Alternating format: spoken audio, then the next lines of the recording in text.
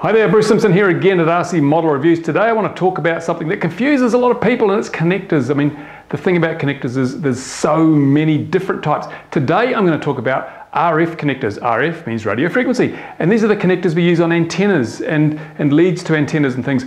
And again, there are, there are just, there's really only two types that are in common use for our RC gear, and that's SMA and reverse polarized SMA or RP SMA. I'm going to show you the differences. I'm going to show you why there, there is the difference, why you have the two different types and the, the, the, rationale, the logic behind that. So let's have a look on the bench and see what these things look like. Okay, here's a typical application where you would be using an SMA or an RP SMA connector. And it's a video transmitter and an antenna, in this case a linearly polarized antenna. Now this one has an SMA connector on it. Let me just zoom in on that for you. There is the SMA connector. As you can hopefully see, if this will focus, let's get that out of the way. Um, it has a pin in the middle on the, the, the part that has the screw thread on the inside has also has a pin in the middle. This is SMA. And this used to be the standard for antennas for Wi-Fi and all sorts of things. But if you look at the receiver or the other end, you'll see that it has uh, the part where the thread's on the outside has a little bit in the middle where that pin on this side can screw into. So that's the standard, that's the old standard. SMA It was very, you know, it was the de facto standard for 2.4 gig stuff and other frequencies. But then they changed to RP SMA. And here is an RP SMA connector. This is the one with a thread on the inside. Um, I think it's generally called, I can't remember these are females or males, it's so confusing because it depends whether you're talking about the pin or the threaded piece. But this is the piece that would normally be on your antenna. Uh, and you can see it, it doesn't have a pin in the middle. It actually has the little hole for the pin because the pin, if we go to the other end of this, the pin is on the part that is threaded on the outside. So this is RP SMA, reverse polarized, because the difference is, if I just try and compare the two, try and keep this in focus, it's always a bit of a challenge.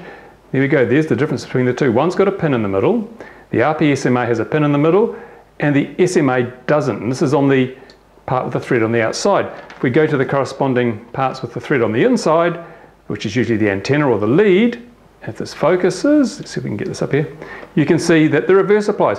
SMA has a pin on the middle with the part that's threaded on the inside, and RP-SMA doesn't. Now you might think, why, why did they change? Why, not, why bother to introduce RP-SMA if you've already got SMA? Well, the justification, the rationale they gave was that this piece here, the threaded piece where it's threaded on the inside, it's usually the antenna or a lead. And that's the kind of thing you're likely to throw around or throw in a box or, you know, generally mess around with. So this, that means that the little pin in the middle is going to be more exposed to damage.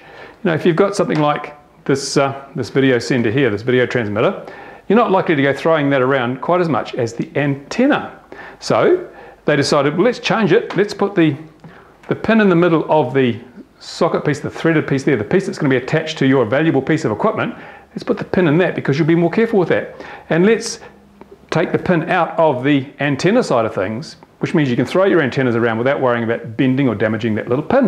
It's really the basis. That's what they. That's why they did it. So the problem is, of course, that not everybody has changed. So we've got some gear with SMA, for example, when it comes to FPV gear, all the Fat Shark systems have SMA, and then all the, uh, what is it, the Boscam, um, Foxtech, other ones have RP SMA. So that's a bit of a nightmare. Now, some traps for young players, some really, really things you've got to be really, really careful of is if you have an RP SMA antenna or cable connector like that, you can still screw it onto an SMA chassis connector like this. So you can actually screw those two together, but you can see when you do that that there's not going to be a reliable contact between the innermost parts because there's no pin.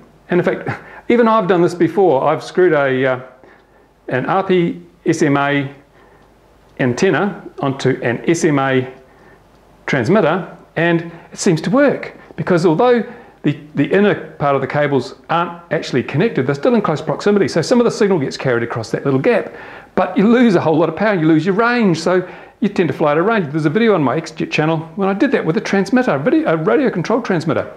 I used the wrong antenna, so I flew away. Fortunately, I had an FY21AP in that plane, so I got to about 400 meters and the failsafe kicked in, it turned around and flew back. If I didn't have failsafe, of course, who knows what would have happened? Simply because I used the wrong antenna with the wrong transmitter module. Something to be really, really careful of. Um, you can't do the other way very easily, of course, because the two pins will collide if you try and screw an SMA connector into a reverse SMA chassis connector, the two pins will collide. So you can end up actually bending them and breaking them if you try really hard. So always pays to check, double check, make sure that you've got the right connectors and you use the right connectors. Otherwise, all sorts of problems can happen with your video gear and also your radio control gear because a, a, lot of transmitters these days, especially with the modules, have a removable antenna. It will be either SMA or RP SMA. You need to know which it is so that you make sure you use the right antenna and, and you don't get them mixed up. Okay, so that's just a really quick overview because that's really, really important. If you stuff up if it, uh, SMA, RP SMA, you will have major problems either with your RC gear or your video gear. So make sure you get the right ones. And if you can't remember which is which, there, there's references on Wikipedia and things like that. But um, the, the, video that I've just shown you, you can see the difference. The um, with SMA, the pin is in the antenna or the cable, and with RPSMA, the pin is in the bit that mounts on your transmitter or your transmitter module. That's probably the easiest way to remember it. So I hope that helps. Any questions on the bottom, comments on the bottom, thumbs up if you like it, you want others to find it. I'll be doing a few more little videos like this in the coming days so that I can sort of, you know, keep providing the information that so many people really want me to provide. And now it's back to the bench. Bye for now.